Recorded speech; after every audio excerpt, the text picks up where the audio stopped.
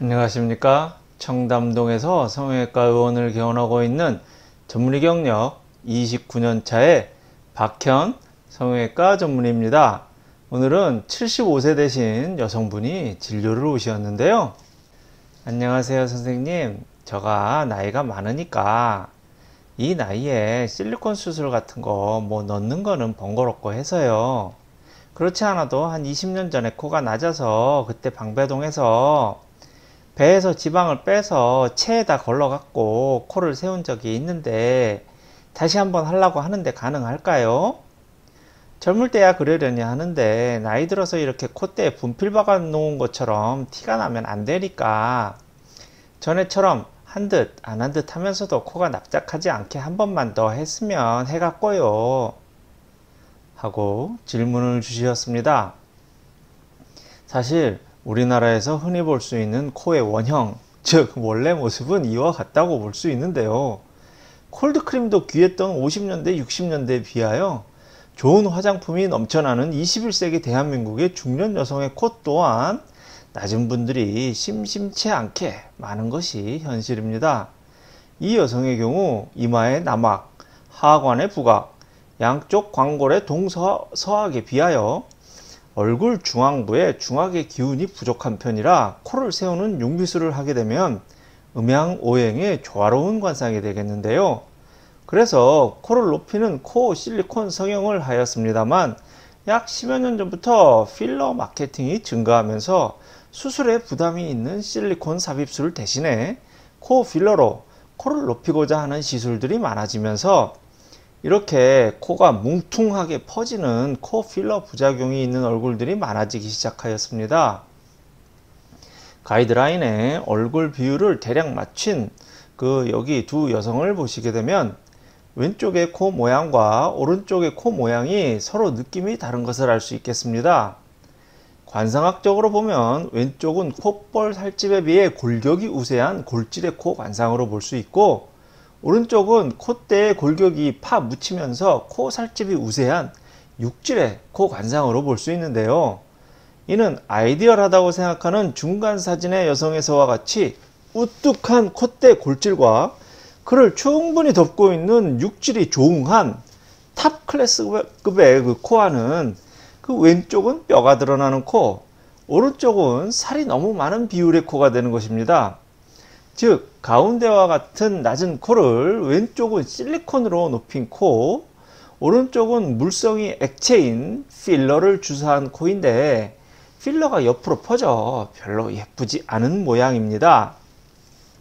그럼 지방 이식으로 높인 코는 어떤 모양일까 한번 보면 왼쪽에 낮은 코를 콧대 지방 이식으로 높이게 되면 중간과 같은 콧대가 만들어집니다.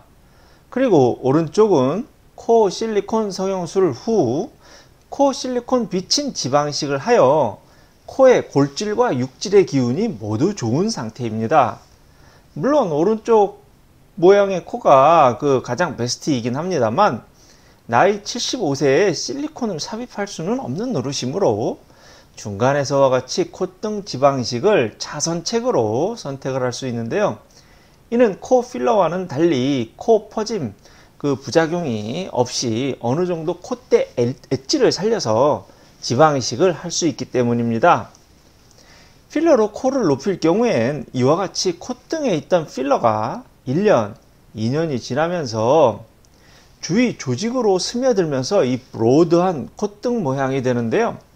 이러한 필러 migration 현상은 외국의 유튜브에서는 많이 소개되고 있는 필러 부작용이며 우리나라에서도 이마 필러를 맞아서 이마 필러 맞았던 필러가 밑으로 이렇게 그 migration이 되면서 흐르면서 눈이 옴팡해지는 부작용도 바로 이러한 현상입니다.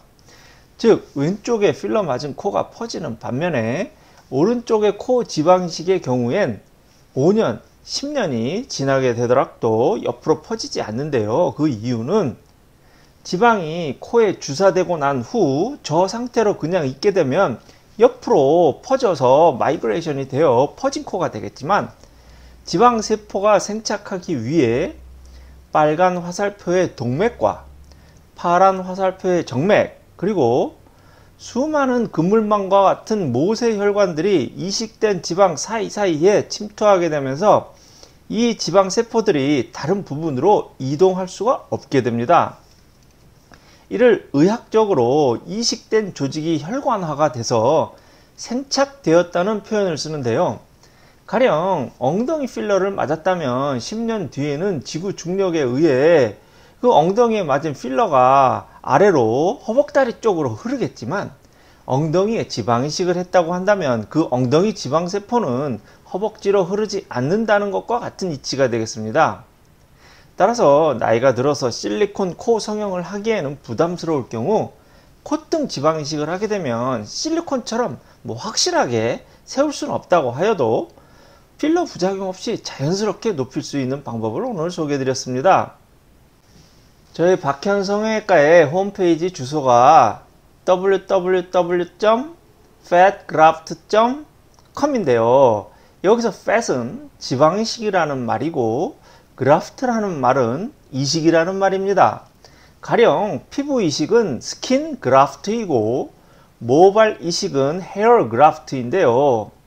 따라서 fatgraft.com 이라는 것은 삼성닷컴, 애플닷컴, 테슬라닷컴처럼 세계 최초로 지방이식 홈페이지를 만든 병원이라는 뜻입니다.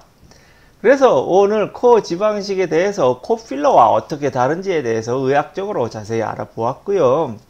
뭐 20대, 30대라고 한다면 뭐 낮은 코에는 실리콘 보형물이 가장 예쁘고 엣지가 나오는 성형이라고 할 수 있겠지만 50대, 60대가 넘어가게 되면 실리콘 성형이 아무래도 부담스럽기 때문에 오늘은 지방이식으로 간단하게 코를 높이는 방법에 대해서 설명을 드려보았습니다. 감사합니다.